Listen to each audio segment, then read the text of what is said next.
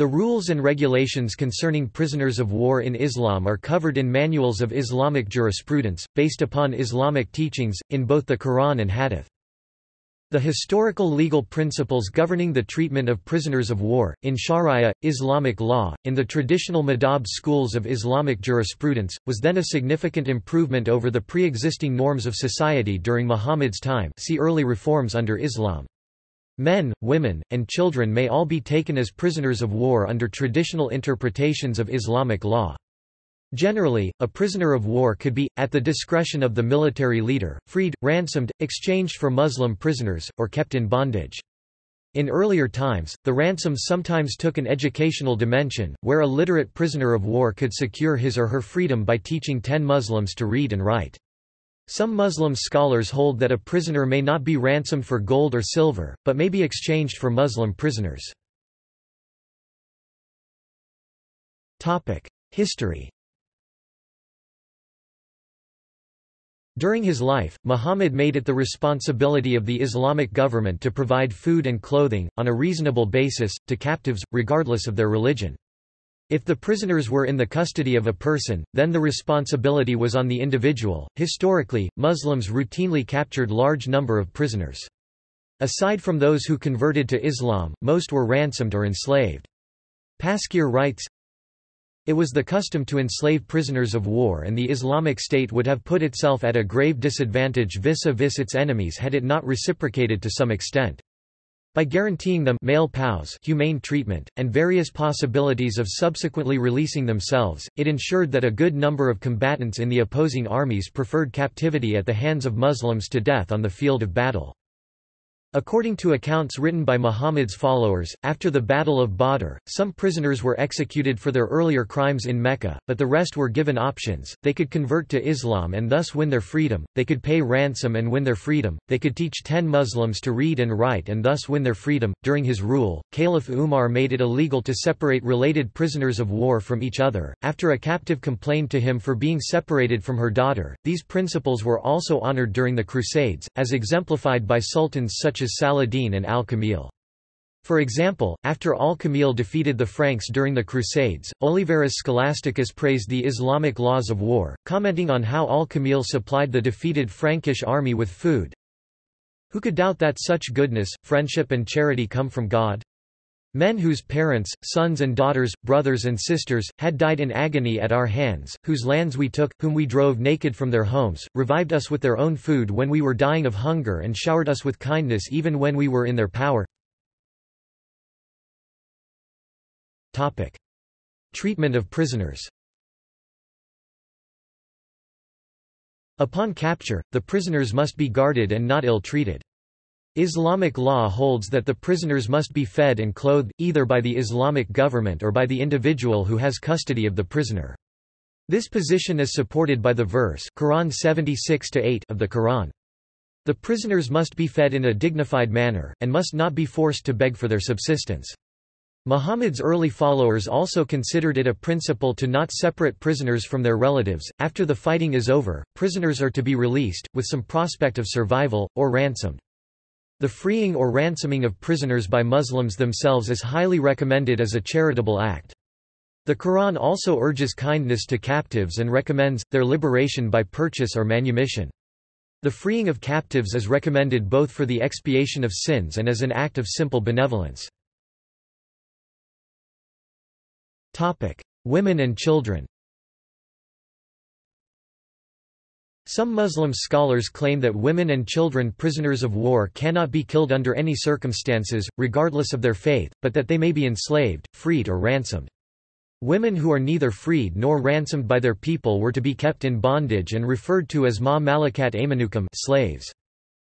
Abubakar Shekau, the leader of Boko Haram, a Nigerian extremist group, said in an interview, I shall capture people and make them slaves. When claiming responsibility for the 2014 Chibok kidnapping.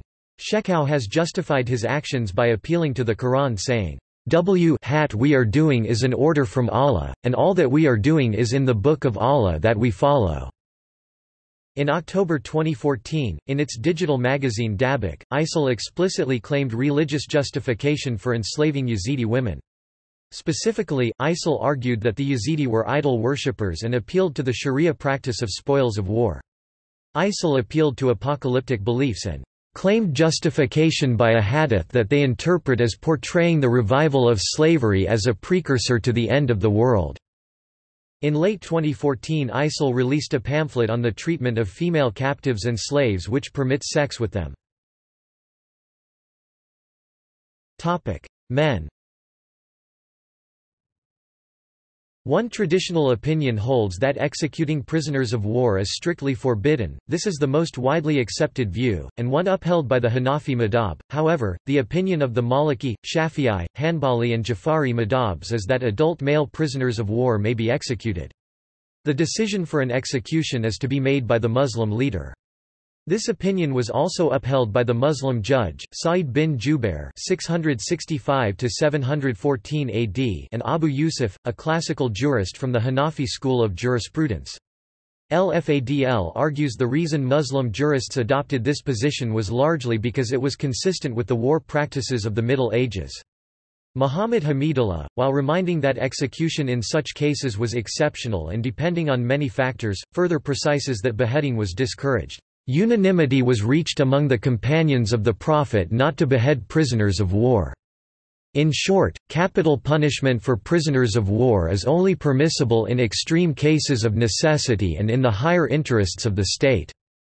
Most contemporary Muslim scholars prohibit altogether the killing of prisoners and hold that this was the policy practiced by Muhammad.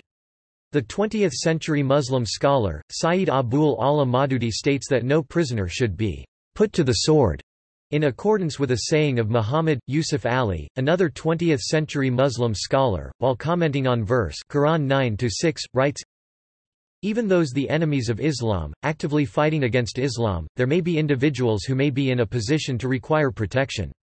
Full asylum is to be given to them, and opportunities provided for hearing the word of Allah.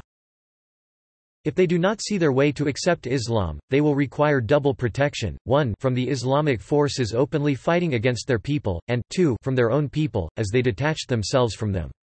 Both kinds of protection should be ensured for them, and they should be safely escorted to a place where they can be safe.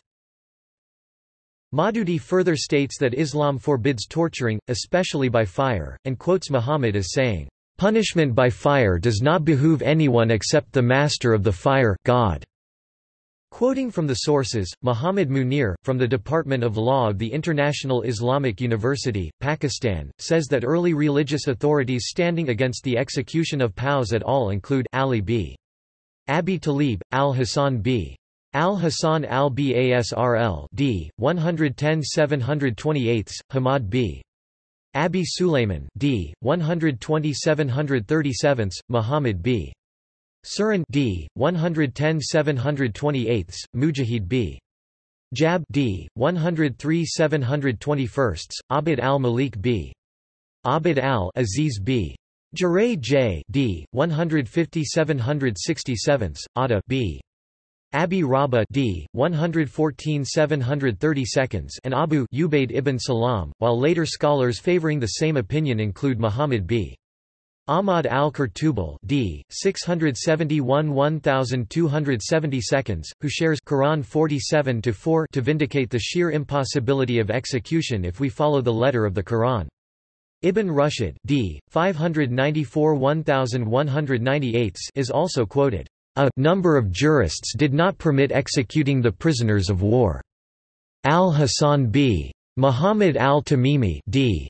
656 1258 stated consensus IJMA of the companions on this view.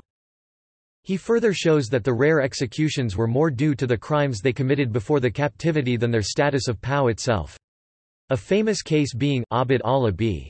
Qadil, one of the few persons who weren't granted immunity at the conquest of Mecca. A group of people which could have been punished by a tribunal should there have been one at the time. But he was the only one executed for what we would today call high treason as he collected tax money from Muslims before defecting and fighting them. More generically, he also shows that in the first 100 years of Islamic military history, that is, from the time of the Prophet peace be upon him till the time of Caliph Umar b. Abdul Aziz, there were only six or seven such cases, even if we were to accept the spurious reports of such executions. See also. Islamic views on slavery. Islam and war. Islamic military jurisprudence. Slavery in 21st century Islamism. References. Notes Ali, Abdullah Yusuf 1991. The Holy Quran. Medina, King Fahd Holy Quran and Printing Complex. Brockopp, Jonathan E., Hashmi, Suhail, El Fadl 2003. Islamic Ethics of Life. Columbia, University of South Carolina Press. ISBN 1-57003-471-0. Lewis, Bernard 1990. Race and Slavery in the Middle East. New York, Oxford University Press. ISBN 0-19-505326-5. Maududi, Saeed Abul Ala 1967. The Meaning of the Quran. Lahore, Islamic Publications. Maududi, Saeed Abul Ala 1998. Human Rights in Islam. Islamabad, Dawa Academy. External links